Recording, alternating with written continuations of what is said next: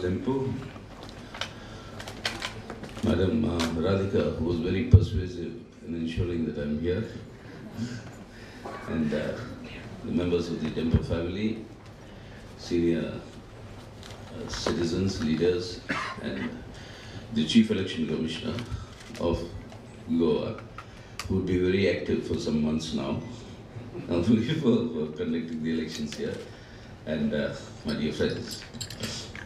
It's indeed a great honor to be asked by the Dempo Trust to come and deliver the Golden Jubilee address here.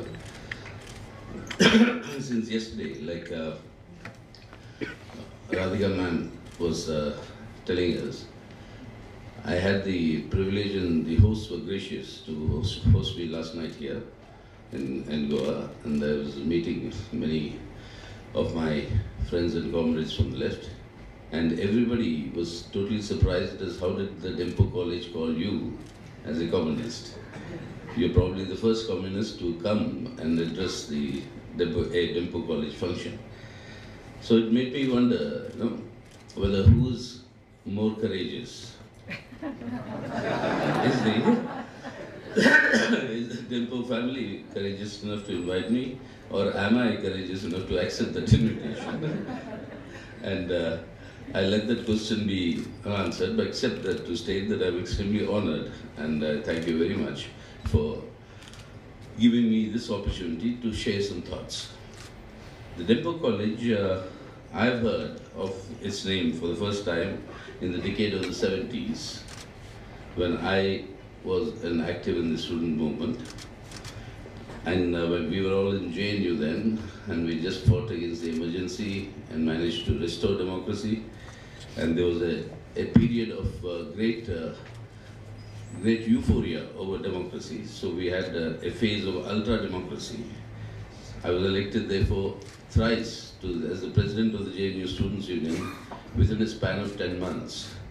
No, so it is not that I was a professional student leader getting elected every year, but uh, that during that period we heard of the Dempo College and the students movement in the Dempo College actually leading a big movement in, in Goa on that uh, entire issue. I think that was on the question of bus concession for the students. And uh, then that's how the name got stuck in my head, saying that here is a, a very uh, you know powerful student movement.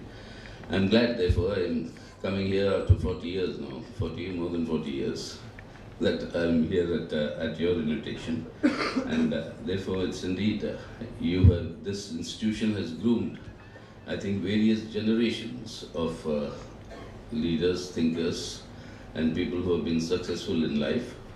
I'm sure that they'll continue to do that for many more years. Hopefully, I mean, I may not be there, but hopefully the centenary would be celebrated in a much grander scale of the, of the, of this college. So I'll only share some thoughts with you. It's not a very structured lecture that I would like to present because I also believe that spontaneity is very important in, in as important part of creativity. So therefore, I'll, I'll just share some thoughts with all of you on this very interesting topic that you have asked me to speak on. Bad politics makes worse economics. Well, I belong, uh, I'm, as, as is obvious, I mean, I'm a Marxist, I'm a communist, and uh, I want to say something which is also the truth, that economics and politics can never be separated those who talk of depoliticizing economic uh, decisions are actually talking of let my politics prevail over the economic reforms and not yours. So let us separate economics from politics. And that is the current trend that is uh, taking place all over the world and in India as well. But as a Marxist, I believe there's always been and there will always be what we define as political. And political economy is where neither economics nor politics can be separated from each other. They influence each other, and there is a sort of a dialectic relationship between these two. And that is uh, very evident if you look at the entire world today. All of us know we are passing through one of the worst economic crises that has uh, gripped the global capitalist system. What started as a financial meltdown in 2008 continues to continues, in fact, in a more intensified manner in various different manifestations where they occur. now this crisis, I mean, only briefly, let's take a digression and try and understand what is this crisis all about. After the fall of the Soviet Union, when you did not have that Cold War situation seized, you had the whole world to be, I mean, available for generation of uh, profits or maximization of profits that led to the current phase of what we all call as globalization. Under globalization, profits were enhanced. You must have read the report that came out three days ago, where 56 individuals in the world have an asset value that's equivalent to the livelihood status of more than half of this globe. That is the economic disparities that this globalization has brought about in our own country. I'm sorry, I don't want to offend uh, the Dempo family, but uh, I don't know if you're if you're part of that uh, exalted hundred. We, we, have hundred billionaires according to the Forbes uh, calculations. Forbes, as all of you know, is the, is the one that uh, lists out the world's richest people and the richest companies. They have said that we have today 100 US dollar billionaires in India. Their billions are counted in US dollars. And these 100 of them have a asset value that is equivalent to nearly one half of our GDP. And your census, the latest figures that uh, come out, the, the, the, widest and the most uh, extensive survey that's ever done in India, the census reports that nearly 80%, 80% of the Indian families, the bread earner brings home 10,000 rupees or less a month. This is India today. You have a shining India, you have a deprived India. Why that is happening, that's economics. But that's also politics. And, and that is where surely bad, bad politics makes worse economics. And we are seeing that today. We have uh, pumped up our growth figures, changed the method of calculation, and now saying that we are the fastest growing economy in the world. We were talking, saying that these figures are doubtful.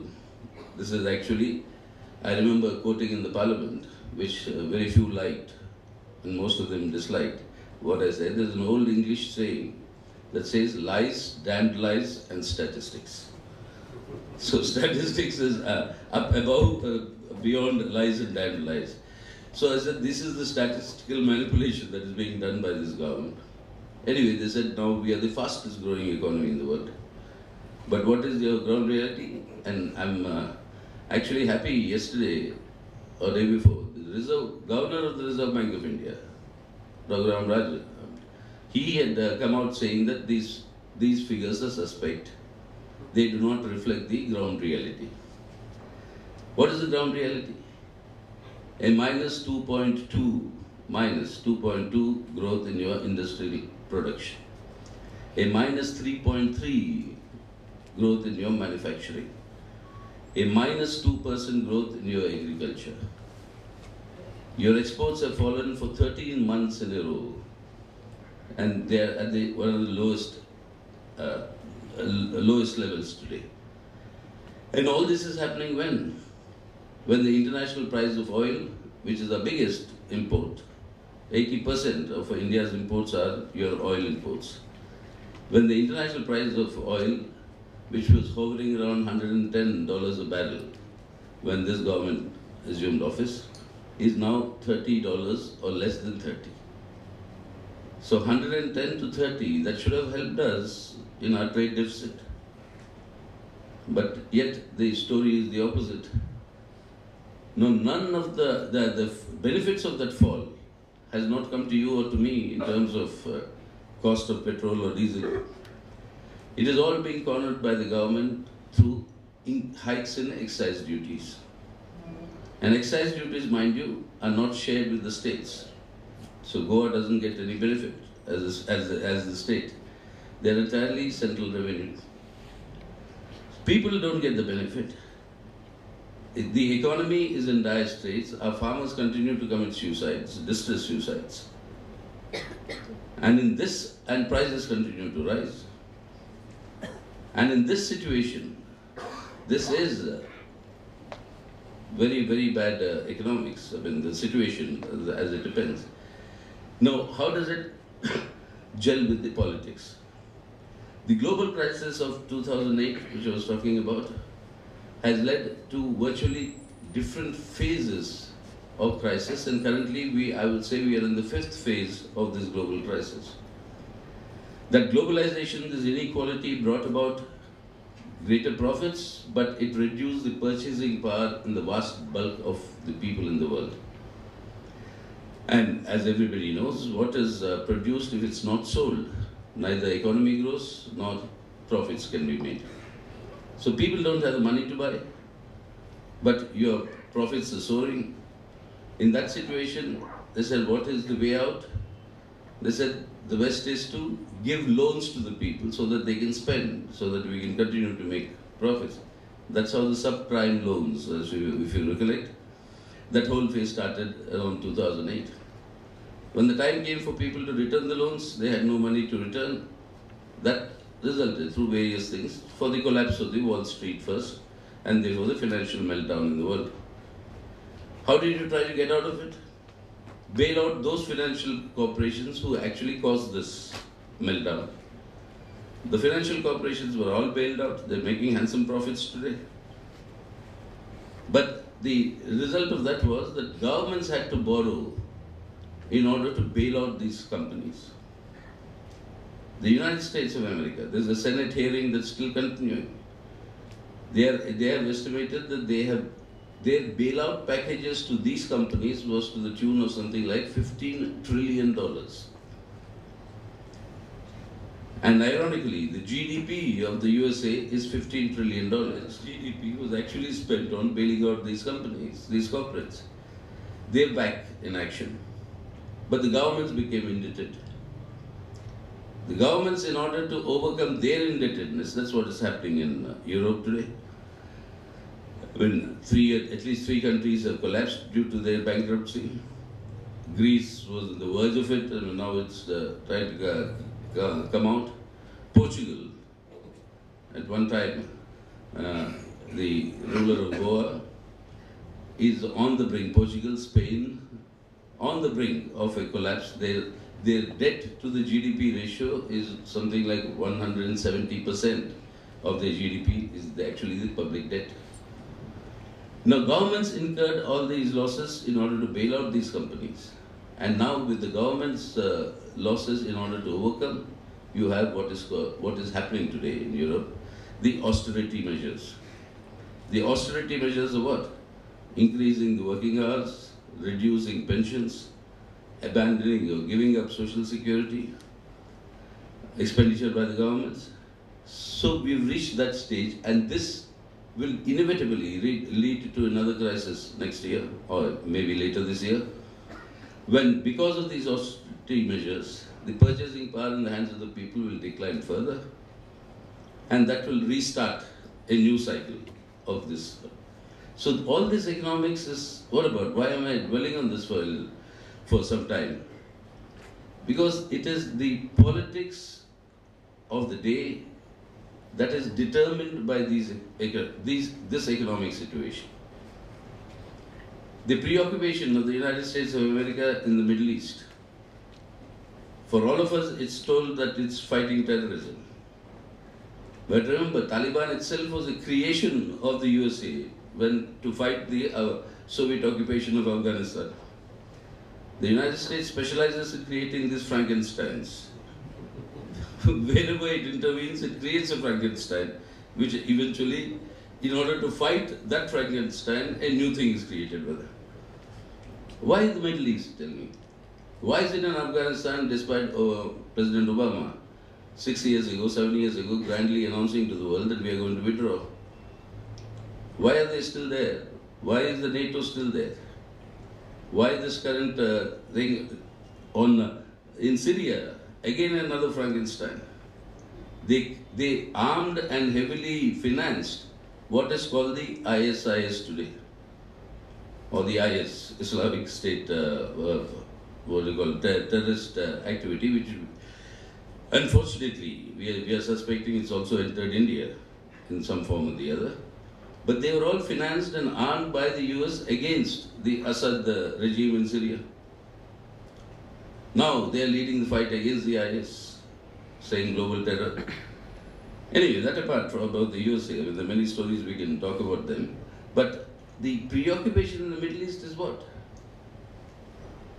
That in order to overcome this economic crisis they are engulfed in, they require to control the world's economic resources, and particularly the oil reserves in the world. The preoccupation in the Middle East essentially has got to do with control over oil. Afghanistan, why is that preoccupation with Afghanistan?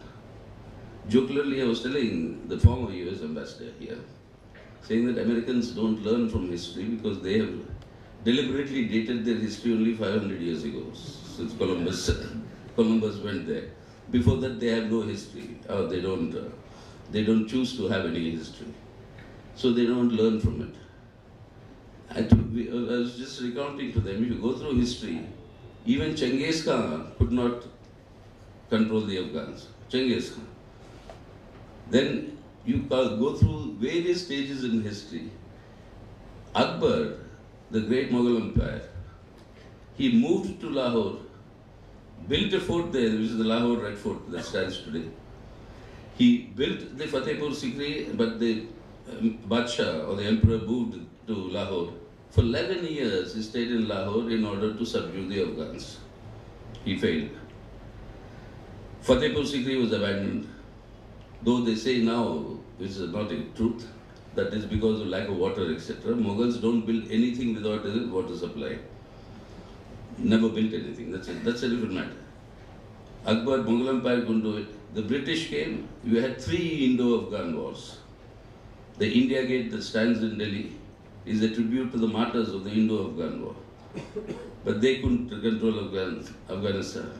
The Soviets came. They couldn't control. The Americans came in order to get rid of the Soviets. They are not able to control. Just leave the country alone, no? But why? Why do you? Why do you want to? why do you want to intervene there? Why? Because the great reserves of oil and gas that is there in Central Asia. If profits have to be made by selling those uh, energy reserves, you require a passage through Afghanistan to reach the oceans. Afghanistan is crucial for, for that purpose. So that economic reason for generating greater profits leads to this sort of politics. And the politics of, uh, you know, occupation, attacks, etc. But on the other hand, you have uh, the politics. Let's say what is happening in our country today. And uh, well, our Prime Minister mercifully is in India right now, so we can we can talk, about, talk, talk about him. The last time he came from uh, came from Britain, uh, he came into the Parliament on the opening day, and suddenly this was a joke in the Parliament. It was it was actually you'll be surprised. The, the members of Parliament also have some sense of humor. so in the Parliament Central Hall, somebody was saying the first thing uh, our Prime Minister did when he sat on his seat in the Parliament was to search for the seat belts because he was so used to traveling. anyway, anyway, if your political objective is to is to actually transform the modern uh, secular democratic republic of India into what the RSS vision of a, the Hindu Rashtra is all about. That is a theocratic, a rabidly intolerant, a fascistic Hindu Rashtra. If that is the transformation that you are seeking, that is the political objective. Now, in order to achieve that objective, all the other actions will follow, which can be termed as political. Your entire, uh, I mean, changing of your syllabus for us, for our children, the entire attack on study of Indian history, the effort to replace Indian history with Hindu mythology. Prime Minister himself, I mean, remember at uh, inaugurating a hospital on the eve of the Indian Science Congress, he actually said that Lord Ganesha was the creation of plastic surgery in India. How could an elephant's head be put on a human being? He said we have achieved, you know, such heights. Karna was uh, of Mahabharata, was the product of test tube babies. So we had all that. I mean, in a science, in a science conference, when we talk of scientific temper, when you actually try to change the entire history in order to portray your point of view over that history, and you know, and in order to distort the richness of Indian philosophy. Instead of Indian philosophy, what is being thought of replacement is Hindu theology. So history being replaced by uh, you know, mythology, philosophy being replaced by theology, and the idea is to convert this modern democratic republic, a secular democratic republic, into a Hindu Rashtra. If that is the political objective, then economics naturally follows. What is the economics? If that project has to be sustained and be successful, you require a certain amount of financing of that project that needs to be done. And that is why this uh, election campaign of what we've seen of the, of the, the 2014 election campaign was so heavily media supported, media oriented and resource centered. I mean, you can't possibly think of any other country where you have laser beamed images of the leader speaking from 12 different points to 12 different uh, mass meetings at the same time. Just imagine the amount of uh, resources that are required to do that. Now, that can come only when, as a consequence, you pursue the worst form of what I would call crony capitalism. And crony capitalism is not even capitalism, which uh, has all its defects. Crony capitalism is the worst of that sort, where people are favored because of their closeness or their political affinity.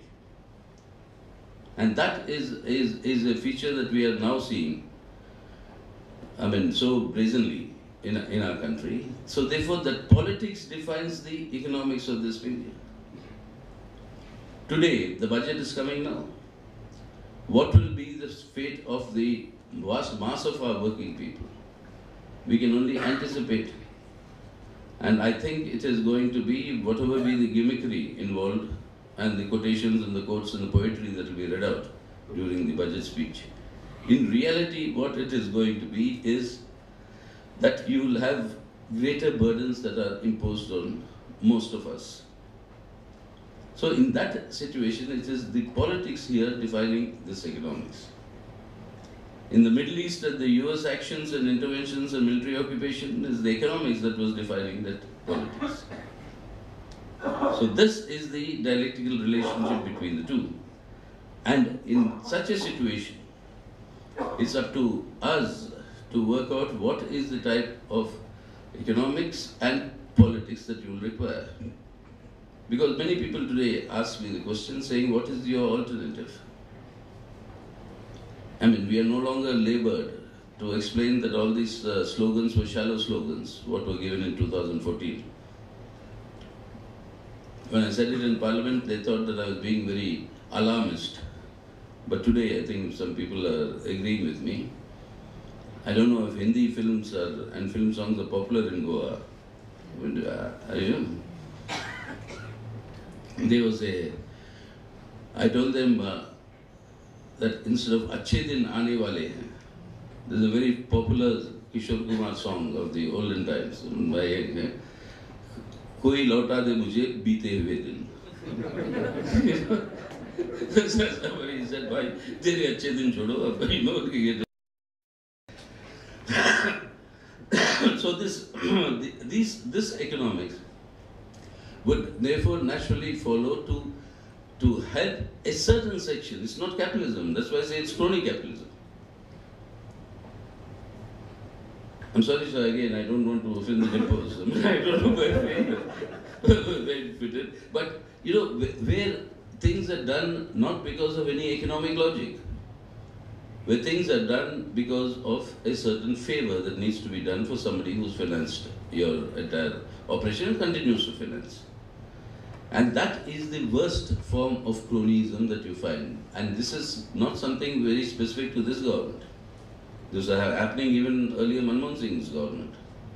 The 2G scam, 3G scam, I mean, all these scams were part of this cronyism. And now they say that we are, give, we are giving you a corruption-free government. In the last uh, nearly two years, tell me, is there any scam? So I very gently remind them, the first eight years of Manmohan Singh, was 10 years, first eight years of Manmohan Singh, there was no scam that came out. So you have a long way to go before, before you leave. that, that, that, things will, things will, uh, will come out. But in this situation, what is the alternative? We are often accused of saying you are very good at criticizing the government and its policies, but what is that you offer? Often what we offer, the left offers, and I think it's not only the left, it's for the interests of the country and for the interests of capitalism also. I mean, not only for capitalism, but also for capitalism, for a healthy, healthy capitalist development. After all, remember, we are Marxists. We say that capitalism was an advance from feudalism. The enlightenment of the farsightedness of the rising bourgeoisie is, all, is always been better than your feudal uh, exploitation and the feudal landlords. And part of this rising bourgeoisie are many of such things like the Dempo College or the Dempo Education uh, no, Society. Remember the first, it was the vision of the Dadabhai Naoroji Tata that established the Indian Institute of Science in Bangalore. He said we should have our own scientific development. Why should we rely on the West? I mean, it's the capitalist who, who establishes the first uh, Institute of Science in our country. And that, that vision, I mean, after all, after all, it was the rising capitalism in the United States of America that created the universal education system of your neighborhood schools. Even today, many of our Indians who go and settle down there, wherever they stay, they have to send the children only to the neighborhood school. So that concept of universalization of education also came as a vision of the rising bourgeoisie. But that if it is replaced by crony capitalism, like, uh, like what is happening today, it is not even capitalism, which again, as, as communists and Marxists, we continue to oppose because fundamentally it's a system based on exploitation. But that apart from it, but what is my solution today in this situation? The economic inequality is widening. You require today to give a better livelihood to the vast mass of our people? Do, do we not have resources? Today, our youth, and I must thank uh, Dempo College also for producing uh, many of the best minds of our country. And I'm told uh, many illustrious luminaries have, have uh, come out of uh, this, uh, these institutions. Now, our youth today, more than 60%, 70, in fact three-fourths of our country, our youth today, you give them the opportunity, they are ruling the world. Silicon Valley. Jocularly, people there, when I went to visit once in a while, like you have invited me, Stanford University also calls me once in a while to speak to their students. So next door is Silicon Valley.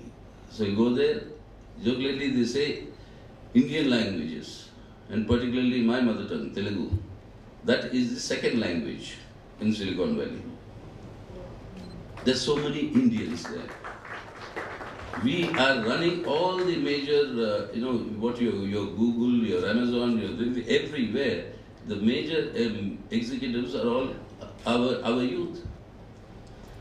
You go to the CERN laboratory in Switzerland, where underground the scientific experiments are being done. The Hadron Collider, in search of the God particle, the boson, named after Satyendranath Bose, uh, our Indian origin. That experiment where that, uh, the CERN laboratory, where you go in, you, the, at the entrance of the CERN laboratory, you have a huge, huge bronze statue of the Nataraj. And more than 200 of our youngsters are leading scientists there doing this experiment. NASA, more than 40% are of Indian origin. So give our youth the opportunity, we can actually, India can emerge as the leader of the knowledge society of the world. I have that confidence. But what do they require?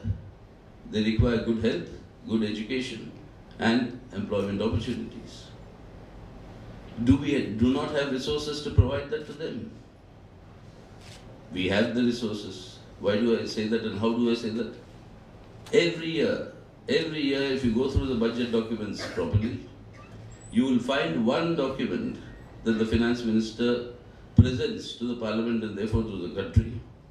And that is called the statement on tax foregone. Foregone. That is the tax that the government should have collected, but it is not collected.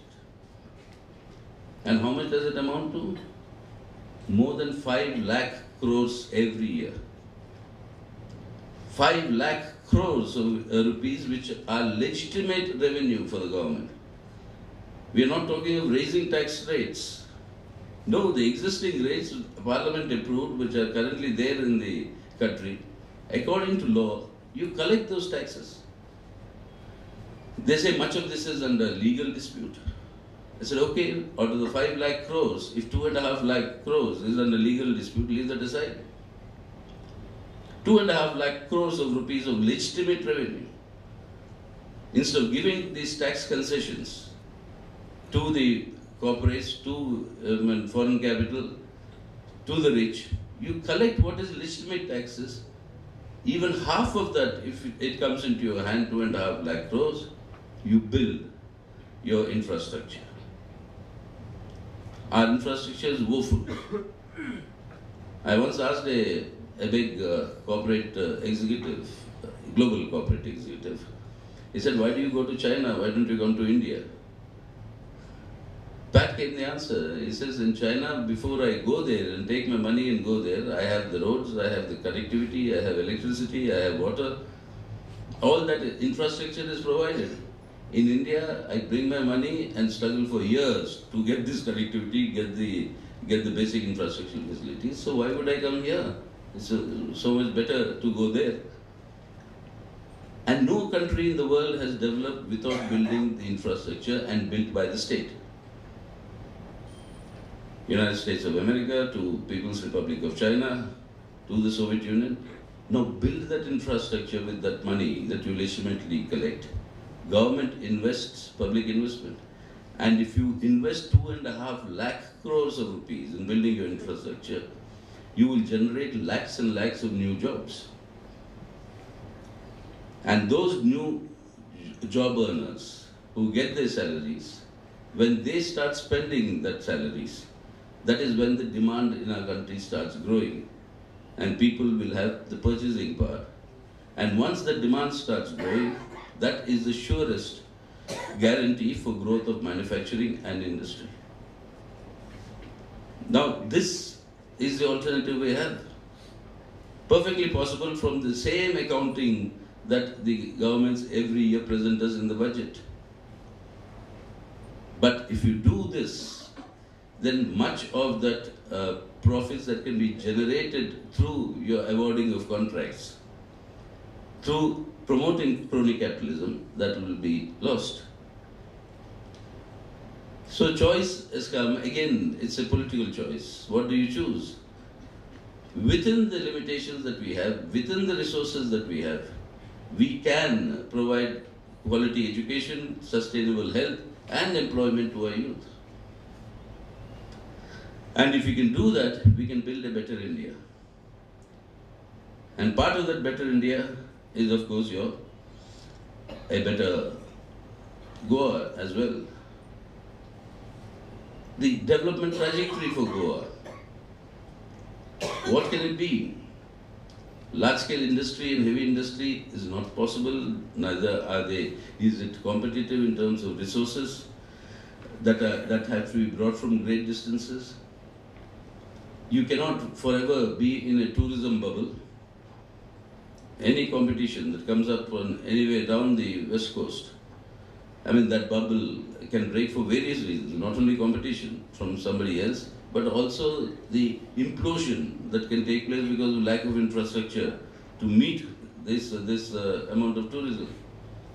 But while tourism will be an important element in Goa, your, your future, I think, in my opinion, it's an unsolicited advice that I'm, I'm only providing. I know the danger. Your future lies not in the traditional heavy industry and therefore development or in agricultural because even agriculture is not so uh, so much of a preoccupation of the people of Goa. Where does it lie? It's, this is a wonderful society, probably the most stable part of India that we have today. Nobody was politically more stable than Goa because I think nearly for 400 years uh, that you had the same ruler. Kingdoms change in other parts of India. Rulers changed. But in Goa, you had the same, uh, you know, rulership, whatever, bad, good, whatever it may be. I mean, uh, we fought and liberated ourselves, that's a, a, different point. But you had that stability.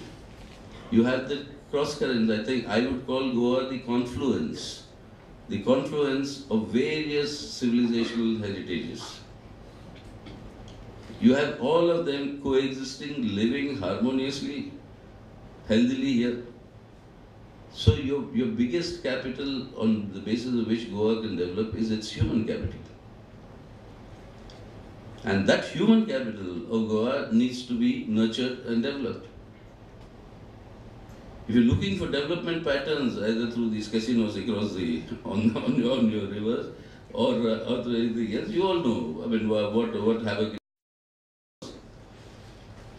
but the basic strategy needs to be developing your human resources, human capital. And in developing that human capital, of course, the DEMPO institutions have done a remarkable job in doing that. But unless it's a state policy of actually bypassing the stage of heavy industrialization to move towards the development of the service, what is called the services sectors, or to look in terms of enrichment of the Goan youth in information technologies or in your high-ranging technologies, where it will be both sustainable and it will be an advance for the Goan society. You require a trajectory whereby the fundamental core of that would be the development of your human resources here. And I think that is the manner, and but that sort of economics requires better politics. You require a, a, a better politics who will be able to uh, implement such a vision. And that is possible, that is required both for India as well as Goa. The alternative that I suggested, perfectly feasible according to me. Perfectly feasible, but that requires a better political uh, administration than what we have now or what we had in the past. So it's, in one sense, correct. Bad politics makes worse economics. But in order to improve that, that economy and actually deliver benefits to the people, you require better politics. And that is the biggest, uh, I, I would say, the struggle that is going on in our, in our country today. So you have the politics of transforming India into a Hindu Rashtra, giving rise to crony capitalism, or strengthening crony, crony capitalism and imposing greater burdens on our people, thereby leading the economy towards an implosion. Unless you break out of this by empowering the vast mass of Indian people, by giving them purchasing power through proper economic policies, we cannot talk of any resurgence in our country. So you, you have a political task that is to weaken this danger of the communal forces who want to transform our modern republic and implement an alternative economic uh, trajectory, which in my opinion is perfectly, perfectly possible. So that is why since uh, Goa you have uh, your coconut tree as your symbol, and the poor coconut tree is the one that's being attacked you know, mercilessly today by, by, uh, by, by the politics. So, I mean, the politics uh, that it is required here in Goa is to use this wonderful set of people, human resources that you have, and actually enrich yourself, and you can really make many leaps. But then again, you require good politics for that. So that's why what we are having is, of course, as I said, bad politics makes for worse economics, but politics and economics cannot be separated. They're part of an integral whole of political economy. And it's that political economy that needs to be changed. And I'm sure the Dempo College will nurture um, such minds who will be able to think of such alternatives, which are perfectly feasible, in my opinion. And that is where I think what uh, Radhika uh, said when she began this uh, function, that nurturing creativity, I think there is nothing more human or humane that can be done than nurturing this creativity. And that nurturing of this creativity is what is required. And I'm sure the Dempo institutions will play their, continue to play their due role. And uh, we need to change our politics for better economics. And better the politics, the better will be the economics. And better the economics, the better will be the politics. So this, uh, I think, is some of the thoughts I wanted to share with all of you. So thank you. Thank you once again for inviting me.